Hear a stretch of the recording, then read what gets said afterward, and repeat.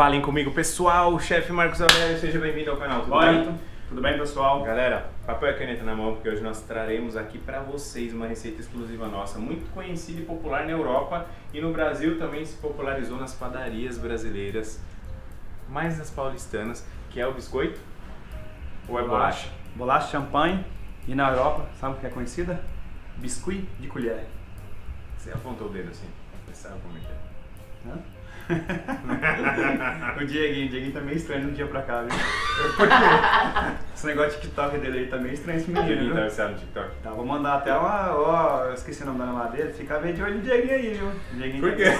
Tá muito estranho esse menino, viu? Que história é essa, São Marcos? esses jovens de hoje em dia são meio diferenciados, né? São diferentes? Esse negócio de TikTok tá dançando de ladinho aí. Sei não, viu, Ego? Vamos lá pra Eu receita? tô aprendendo a dançar lá, Marcos. Você já passou da idade, rapaz. Nunca é tarde. Nunca é tá tarde. certo, tô brincando, né, galera? TikTok É. tem que estar estourado no Brasil e o mundo afora, né? Até eu tenho TikTok também, Então, né? De tá- vez em quando eu tá bombado faço, também é, faço umas coisinhas lá, legal. Mas vamos aqui pro YouTube, tá? É bolacha ou é biscoito de champanhe? Bolacha champanhe. Tá.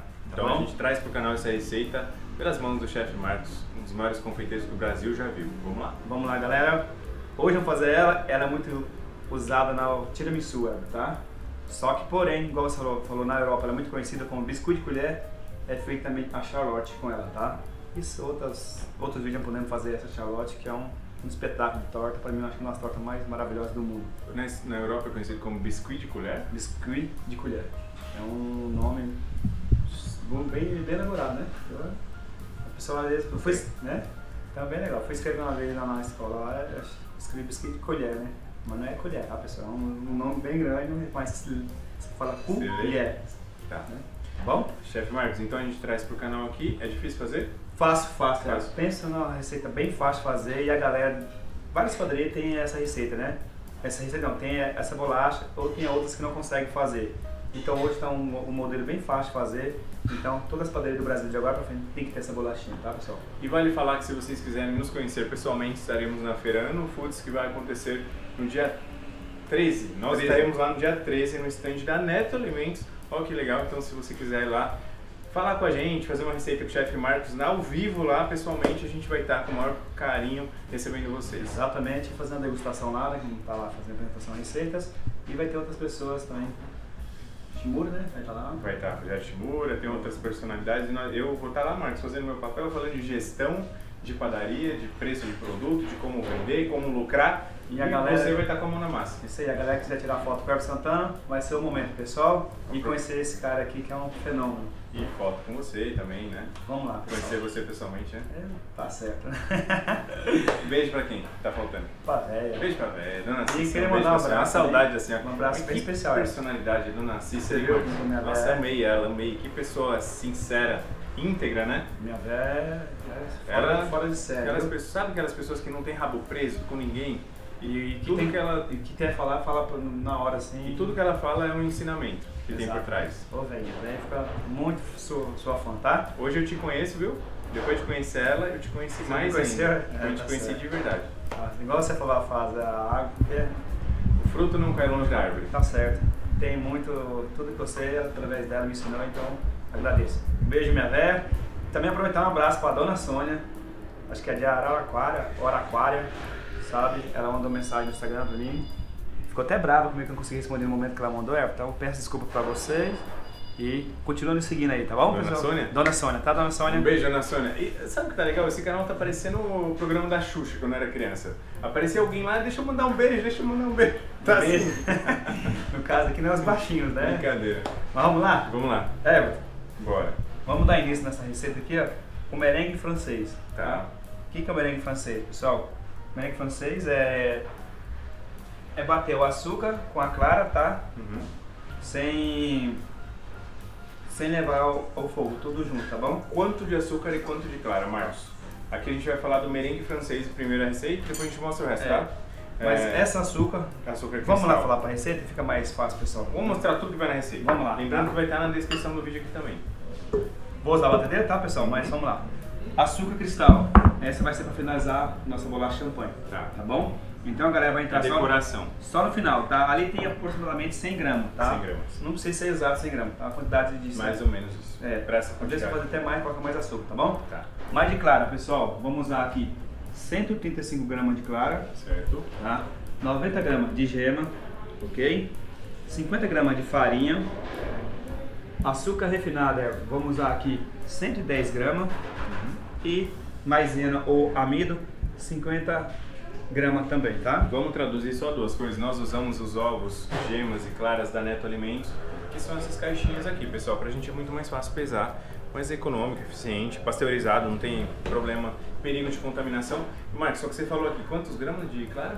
135 gramas de clara. Se fosse para quebrar o ovo e tirar a clara, quantos ovos? Quantos, Daí aqui, cada, lembrando, cada clara é aproximadamente 30 gramas. Tá. É, eu daria 5 e eu daria 4 claras. Quatro claras e meia.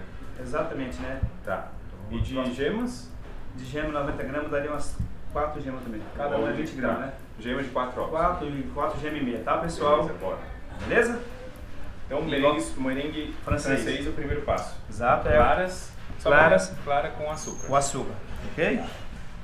A galera pode fazer, tem duas formas de trabalhar com merengue francês. Você pode bater a clara, tá? E acrescentando o seu açúcar aos poucos, tá? Em três partes. Ou pode colocar tudo assim de uma vez e, e dar continuidade batendo. Você prefere fazer assim? Eu prefiro assim, porque eu quero uma massa mais densa, mais firme, tá? Tudo depende da sua receita que você vai fazer, tá, pessoal? Tem receita que você. Depende do contexto. Exato, e Então, tem receita é porque você tem que fazer, a, a açúcar tem que entrar em três partes. Primeiro tem que bater a clara e neve, tá? Isso é... Então bora bater quanto tempo? Vamos lá? Pessoal, até formar ela ficar em clara e neve. Ela ficar boa e assim, vai ficar aquela clara e neve, tá? E bem espumosa, fica branquinha. A gente mostra esse ponto certinho pra Beleza? vocês. Olha, Everton, ficou assim, tá? Ó. Boa. Ó, galera, trouxe pra vocês mostrar aqui, tá? O que, que eu vou fazer agora? Vou levar novamente pra batedeira, tá? Acrescentar a gema, só dar uma ligada na batedeira, desligo, tá? Aí vem acrescentar aqui a farinha e o amido. Então você Bom? liga a batedeira É. do jeito que tá aqui. Do jeito aí- que tá aqui, aí pessoal. coloca a gema aos poucos. Não, colocar de Uma uma vez. Toda vez e só dar uma leve, ligar e desligar a batedeira. Vai dar um- umas duas voltas pro grupo, tá pronto. Tá? Eu não preciso, não posso perder a, aeração da minha neve. Então eu tá vou bom? mostrar isso daqui, vou pedir a câmera pro Dieguinho, vou Se nem tá desligar, daí mesmo vai, Vai pegar bem? Tá, pessoal? Ó, Deixa eu encaixar aqui. ó. Deixa eu colocar aqui. Olha só. Vou colocar aqui, tá? Ah, tá. Coloquei. Pessoal, olha só. Ligou? Desligou. Só isso? Só isso, tá? Repare que eu não perdi, não perdi a minha ereção da, da clara, tá? Meu merengue francês. O que eu vou fazer agora? Vou pra cá, vou colocar aqui, obrigado. E aqui, galera, vou colocar a farinha. Uhum. Lembrando, sempre bom peneirar a farinha. Essa já peneirei, tá, galera? Vou colocar aqui amido. E vamos fazer agora a mistura, tá, pessoal? Ó, Bora. sempre de dentro pra fora, Uhum. ó. Ok? Não pode bater, Marcos. Não pode bater, é misturar só com isso aqui, ó, com a eu falo marrisa ou espátula, tá? É Mesmo pra grandes quantidades, Marcos? mesma quantidade também assim. Qual é a base da, da bolacha champanhe? É a clara, é o merengue francês, Uhum. tá? Se eu colocar muita força e bater aqui, o que, que vai acontecer? Eu vou perder toda essa aeração aqui dela, sabe? Uhum. Então vai perder isso e vai des- desandar no português do, do, do confeiteiro ou dos padeiros fala desandar. Desandar a massa vai ficar bem mole, tá, Elmer? Ó, Legal, hein? lembrando aqui que eu tô mexendo um pouco mais, tá, galera? Ó, sempre de dentro para fora, que mistura bem a farinha, tá? Incorpora bem a farinha e o amido junto com a... Ó. Repare que eu tô mexendo, ela não tá perdendo a consistência dela. Sim, Tá verdade. vendo? Uhum. Então, galera, é muito ficar atento nesse, nesse pontinho, tá? Aham. Que se você colocar, apavorar ou ficar com rapidez, bater aqui, é, você vai perder a estabilidade do, do seu, da sua bolacha champanhe, tá? Legal. Ó. Misturadinho, ok? Pronto. Pronto. Já incorporei bem a farinha e o amido que eu preciso, tá? Agora o que eu vou fazer? Usar a manga descartável com o bico, tá? Tô usando um bico liso, pessoal, tá? Tamanho de 12, beleza? Legal. mas fica muito também Tem as formas, tá? O Neném falou aqui, cara, mas tem as formas que é a marcação da bolacha champanhe. Ok? Que aqui você não vai usar. No Eu não vou usar, tá? Tá? Eu tô- esse tapete de silicone. É, tá, galera? Muitas. Precisa, Marcos? Tem, o ideal é o tapete de silicone, né? Dá mais segurança, né? Mas quiser fazer papel manteiga, dá pra fazer. Porém, pode ter, dá pra pregar, ficar mais dificuldade pra tirar, ok?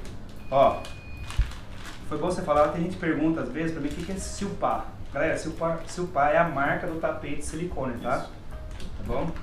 Vezes o pessoal, o grande chefe fala silpar, galera, então é só a marca. Achamos que o tapete de silicone se chama Silpar. Não, é que é a marca Não, mais conhecida. é a marca mais conhecida, a melhor, sim, a melhor que tem no mercado, né? Como, por exemplo, o cotonete. Todo mundo acha que o objeto é um... se chama cotonete. E não, né? Não é, né? Não. Ó, coloquei tudo aqui, tá? Quase tudo, quase tudo. Pra cá. E aqui eu vou pingar, galera, o tamanho Uhum. que eu desejar.